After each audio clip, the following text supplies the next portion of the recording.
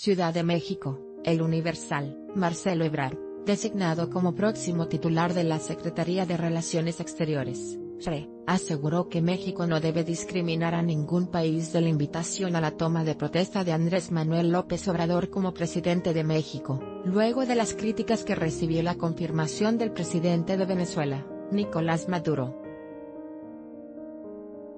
Nosotros invitamos a todos los países del mundo y no excluimos a nadie, México tiene y va a sostener una política exterior de amistad y de respeto. Entonces alguien puede opinar en contra de un dirigente o un presidente, pero México no puede juzgar sobre eso, dijo. En entrevista al salir de la Casa de Transición, ejemplificó que también asistirán, el 1 de diciembre, el segundo en la jerarquía de mando de Corea del Norte y el vicepresidente de Estados Unidos, Mike Pence.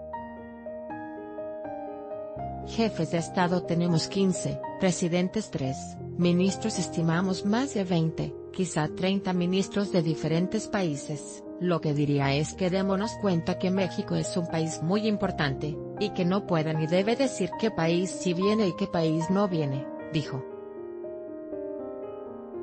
Por su parte, el expresidente Felipe Calderón pidió que por dignidad y empatía con el pueblo de Venezuela, se retire la invitación a Nicolás Maduro. A través de redes sociales, Calderón dijo que por empatía con valores democráticos, debe retirarse la invitación al dictador.